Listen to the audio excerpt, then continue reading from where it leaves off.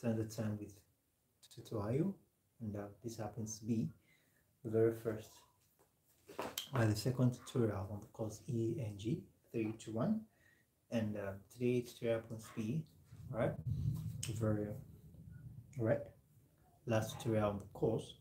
It promises to be an interesting all just one okay? I believe we have our writing materials um let's progress into the class this said. Let's go straight into it. Okay.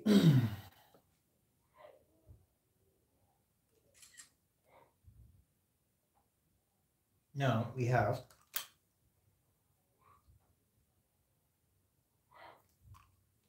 ENG 381 okay. Now we are taking our bearing from all right what does novel means. We're going to be dissecting all right what novel means and um, what makes up the novel the origin and everything about the novel okay? A novel all right? So we have that as that. Now let's uh, proceed. Now when we say novel what are we talking about okay it is an imaginative work of art. All right imaginative art. All right presented in the prose form. This means that the story presented in the novel is fictional. All right, this is a art. All right, imaginative art. I beg your pardon. This is said to be all right.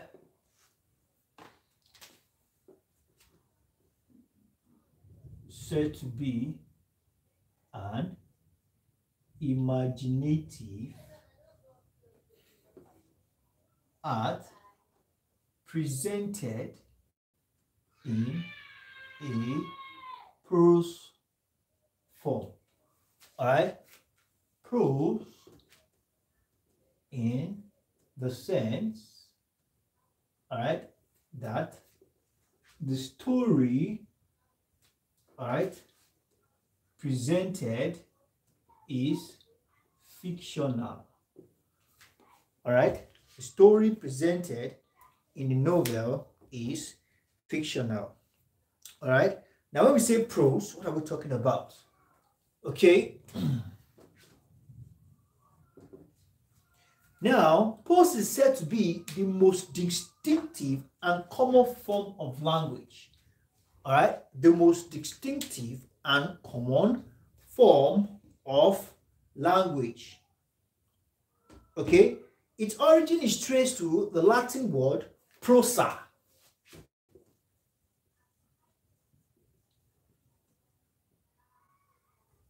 The most distinctive and common form of language.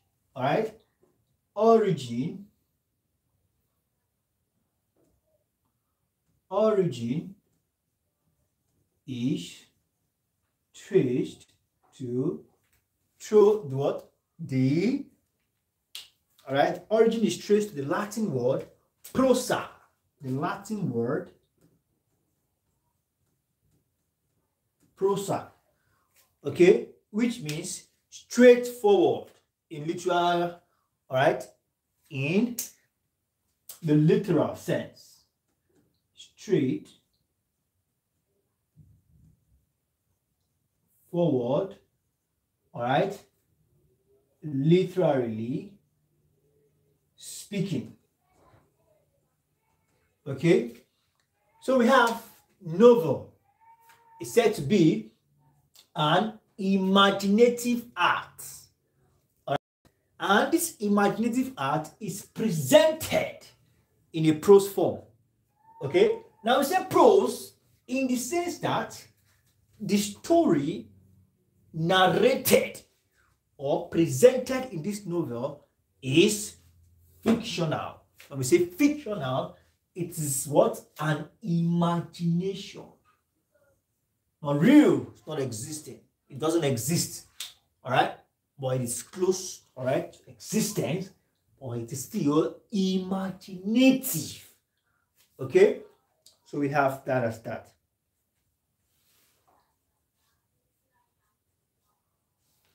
Okay, so we have now when we say fiction, all right, these are the things that makes up novel. We have fiction.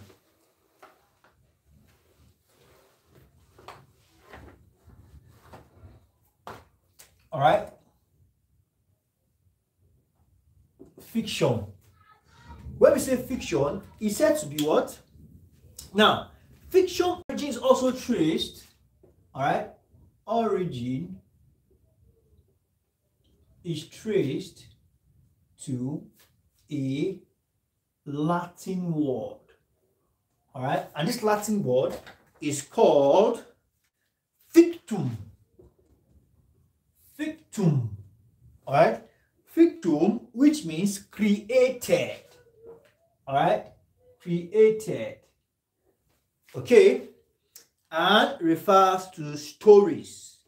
Stories created, incidents, events, accounts, all right, that are not real. All right, stories, all right, events, accounts, what? Not real, fictional, all right, from the Latin word fictum, all right, and says it means to what? To create, all right, stories, event, account that are what? Not real. All right. Good example of fictions are stories, like what we just said, folk tales, right, folk tales, tales, and other fabricated, generally fabricated stories. Okay, we have that as that. Right now, prose fiction is presented in a narrative form. Okay, there are other form of prose that are presented in a narrative form that are not classified as prose fiction.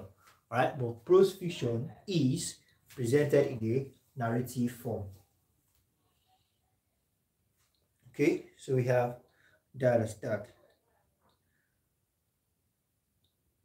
Now, the novel is said to be the what? The longest, all right, form of prose fiction.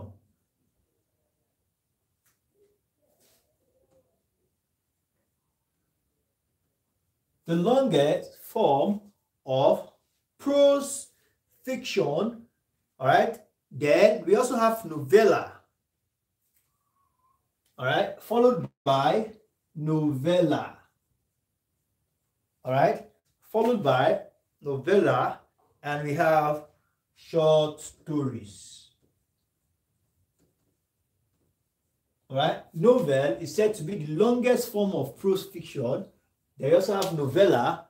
All right, then we have short stories. All right, all these are prose fictions. Okay. Now, let's quickly talk about the English novel.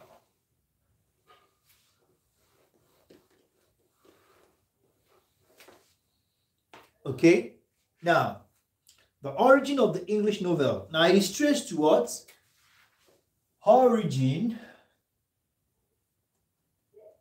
of the English novel. All right, traced to what? The medieval. All right, the origin of the English novel is traced to the what? Medieval. All right, medieval. Medieval, not via. All right, traced to the medieval and early modern romance in the tradition of the novella according to Wikipedia. All right, so the term novel, as we or as we know today, is derived from novella. Now let's take this. the origin of English novel can be traced down to the early modern day, all right, to the early modern romance, all right, novel, uh, me, me, uh, we have medieval and modern, all right, early medieval, right, medieval, medi, okay, let me write this well,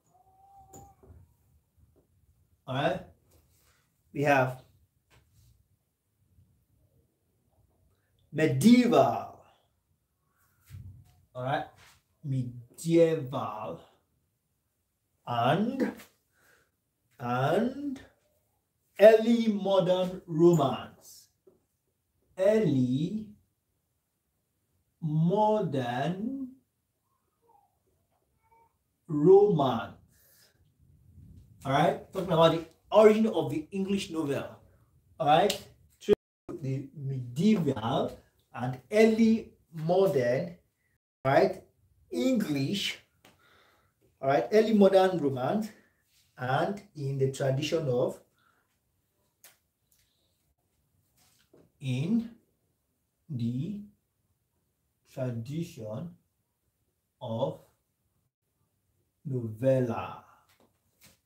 All right, in the tradition, in the tradition of what? Novella. Okay? In the tradition of novella. Okay? Now, we have that as that. Okay? So we can say that the term novel, as you all know today, is derived, all right?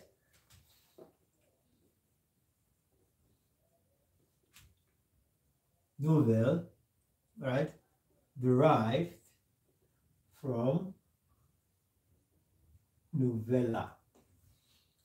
Now, assuming you are asked in the exam, right? What can you say about the origin of the English novel? All right, this is how you want to start. All right.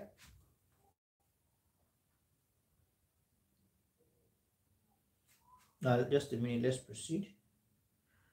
Okay, now let's just take one or two more points before I arrange it properly. All right. So now, the origin of novel is also traced to the early allegorical works and, all right, also the romantic period that produced romance and gothic novel. All right, romance and gothic novel. Okay, now let's take that. Now we have two keywords here All right.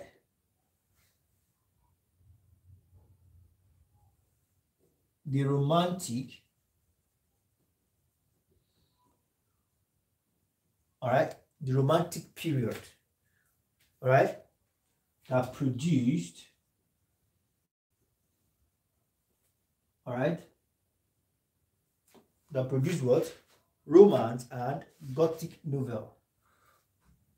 Romance and Gothic.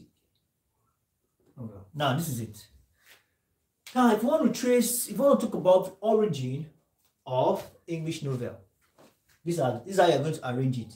Now, the origin of the English novel can be traced down, all right, to the early modern romance, all right, period, all right, to the early modern Romance period, all right, where Romance and Gothic novel were produced.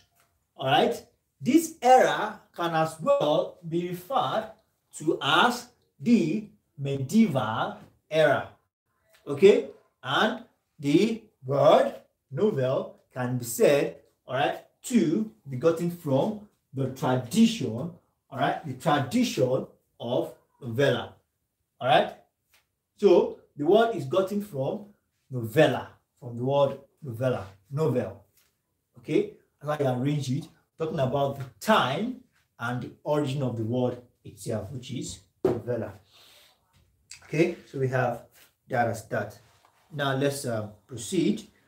Okay. Just a moment. Let's proceed.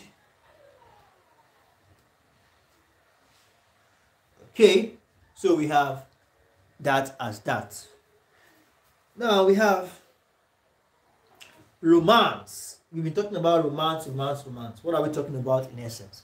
Now, romance, the word romance is term, all right, trace beginning, all right. This word now, romance, was first used in the 13th and the 14th century.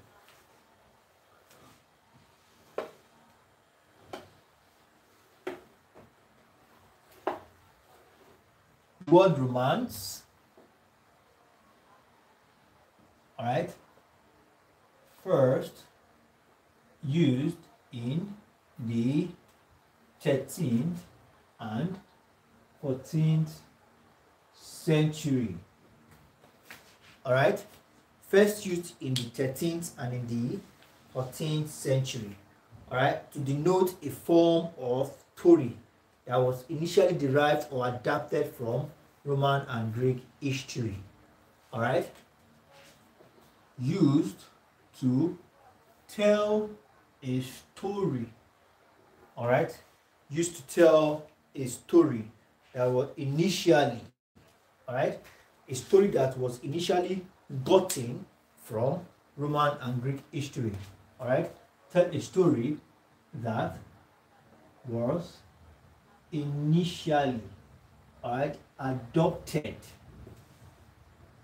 from the all right from the roman and greek history.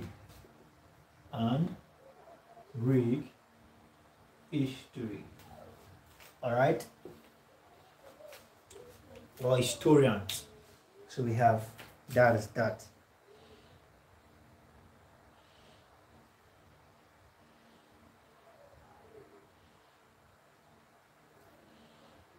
Now, we said something about the Gothic. All right? The Gothic. All right? Now, the Gothic novel, this type of novel, all right, presents a story, all right, that combines elements of horror and romance. All right? This novel, all right, presents a story. All right present a story okay that combines elements that combines elements of horror okay? Element of horror it clearly element of horror and and romance in the plot and romance in the plot all right? And romance in the plot. And was said to have originated with Horace Walpole the castle of Otranto. Oh wow. Love I so much love this all right, The Castle of Otranto. That's one of the literal, literature books we read in secondary school. The Castle of Otranto. All right. So we have said in the plot and was said to have originated to have originated from all right originated with Horace Walpole originated with Horace Walpole. Alright, Horace Walpole is the writer. Alright, Walpole's and the name of the book is Castle of Castle of Otranto. Alright, Otranto in 1764. Castle of Otranto, 1764. So we have that as that. Now let's proceed.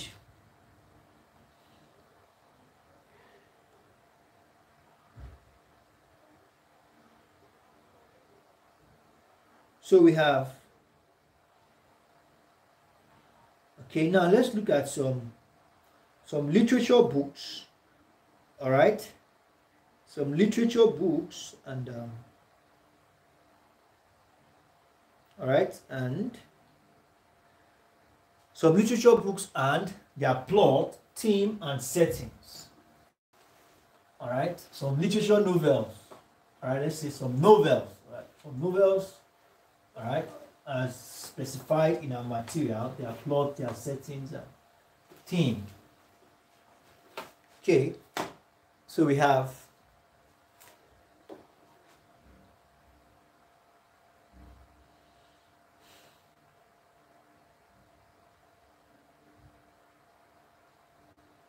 So um,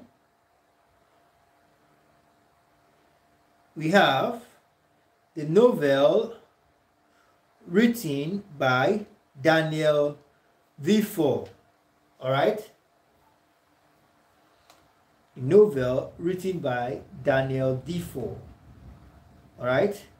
And who is Daniel Defoe? Daniel Defoe happens to be, all right, a literary, all right, artist and a journalist. All right? Novels. All right? We have Daniel Defoe. All right? Daniel Defoe happens to be what? A literary artist, literary artist, and a journalist who perceived, right, who is perceived to be one of the greatest journalists of his time. All right, he was a prolific writer with over 370 known publications. All right, best journalist of his time. All right, with three over 370 publications. All right 370 publications known publications. All right so that means there are some that were not even known but was published all right but 370 known public uh, publications all right he had ability to write on almost any topic all right daniel defoe was regarded as a man who lacked integrity right therefore was not taken serious in his literary circle, all right, at that time. Although they acknowledge his skill at writing, all right. That is Daniel Defoe.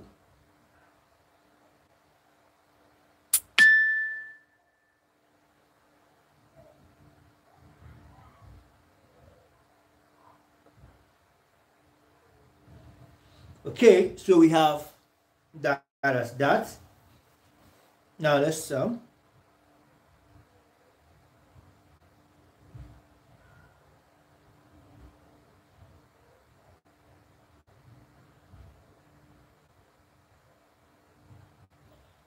Okay, so we have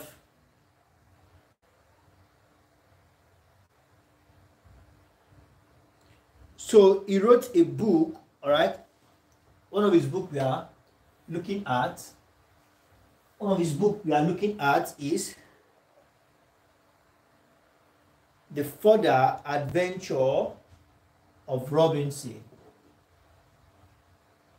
The Further Adventure of Robinson. All right. Crusoe. All right. We have Crusoe. Okay, the further adventure of Robinson Crusoe.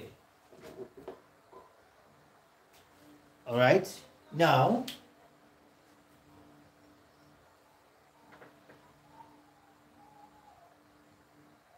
now this is set this book, all right, was so successful that it was immediately pirated.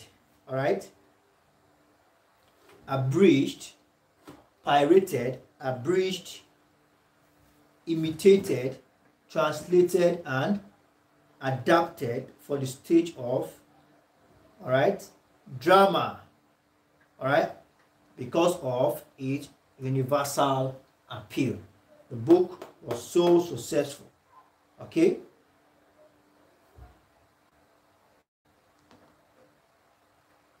So we have that as that now let's proceed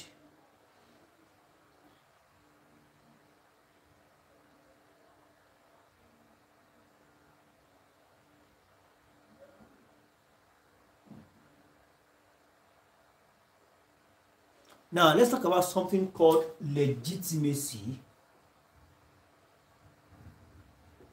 Legitimacy of novel.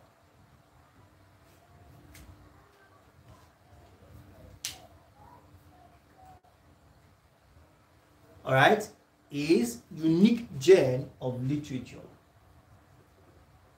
The unique, all right, germ of literature. All right, the unique genre of literature is what gives a novel, all right, legitimacy. Okay, so we have that as that.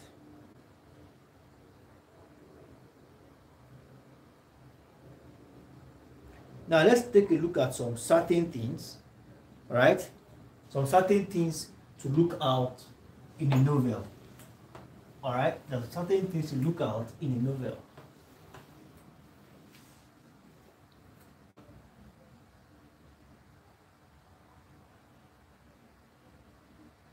So we have realism.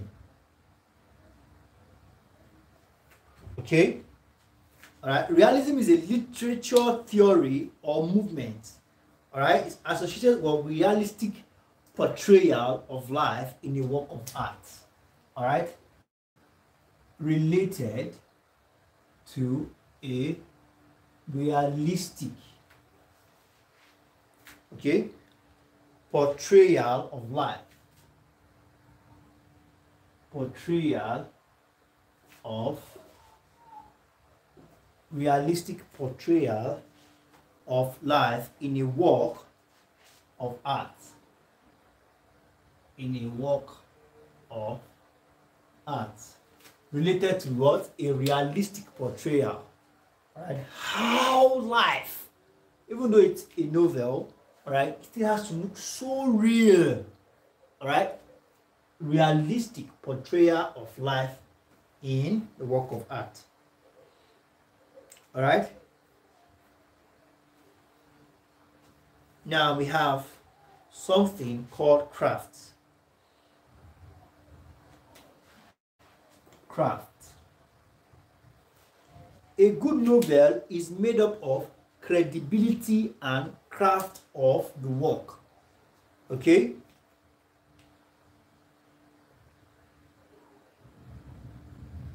all right? Credibility and craft. A good novel is made up of credibility and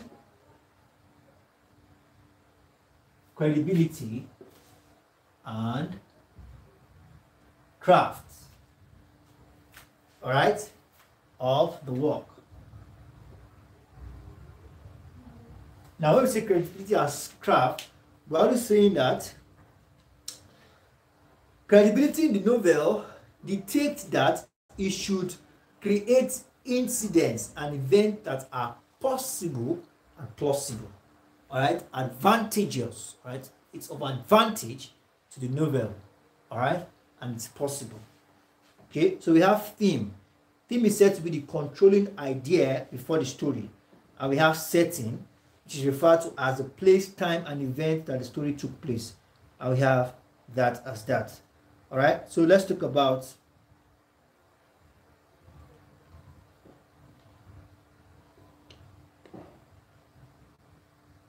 Okay, now let's talk about this novel.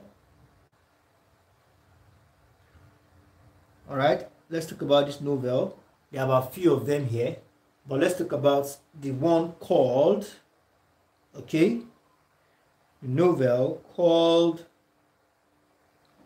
just a moment, The Pilgrimage Progress by John Bunyan. All right, The Pilgrimage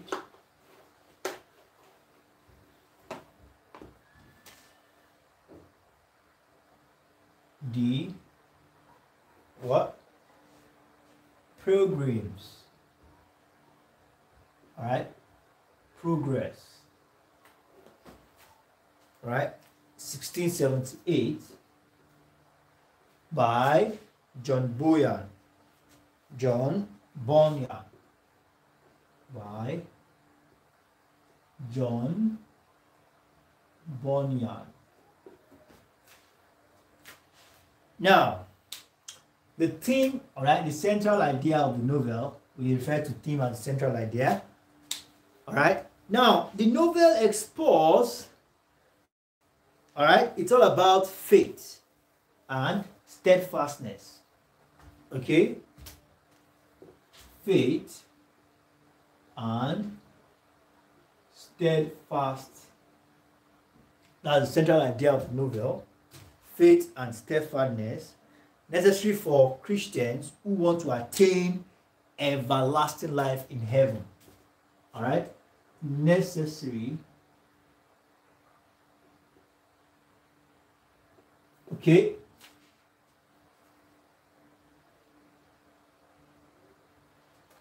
Necessary for Christians for Christians who wants to, all right, attain everlasting life, attain everlasting life in heaven. All right, that's the central idea. All right, and the plot. All right, we're talking about the the plot now.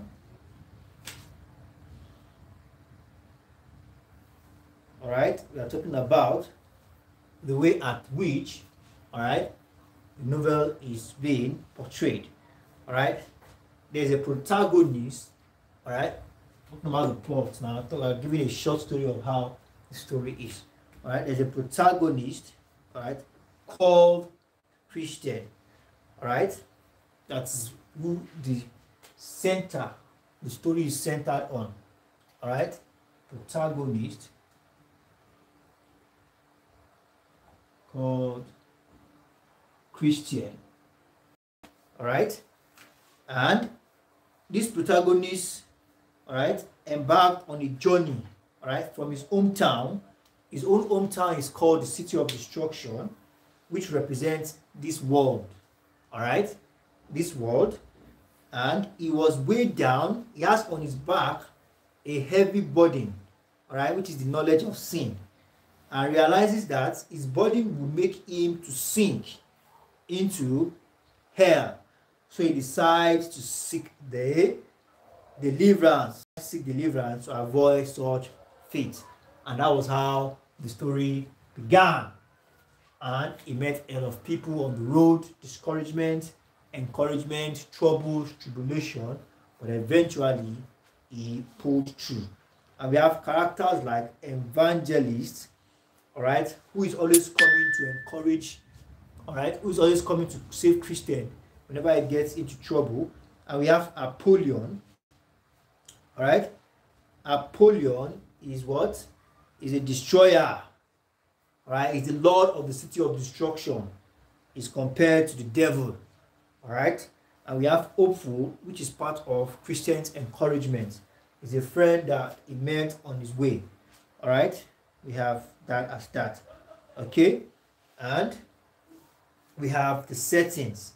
All right we have places like when we say settings places and events in the all right in the novel. We have city of destruction. Okay? We have a lot of bad bad people liar blasphemer. We have the wicked gates where we have people who does wicked things. And that is that on that. All right. So I think the other novels, all right, all are in the keynote for people in the private class. All right. So thank you very much, everyone. I believe um we've been able to gain a thing or two. Let's do well to take advantage of the keynote that we made available on the website. All right. Thank you very much. And also there will be past questions and practice questions on the website. All right. Use the link in the description below of the video. All right. www.r.com and get everything you require. Look forward to seeing you in subsequent tutorials. Bye bye.